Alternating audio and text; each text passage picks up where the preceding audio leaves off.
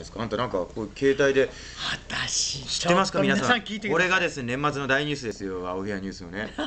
なんとですね戸川雅子がですね、今年の2日2日？か3日？えあのツイッターというのを。ついに。始めました。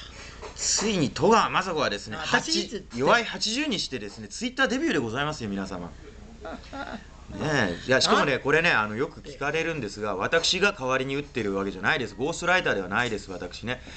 あなたのね言葉で。だって私の言葉ってあなたの言葉になるわけないしあなたの言葉は私の言葉になるわけないしそうですね。イライラするだけだまあもう見ていただければねもうねあの一目瞭然なんですけど。冗談じゃないよってこういう感じだ。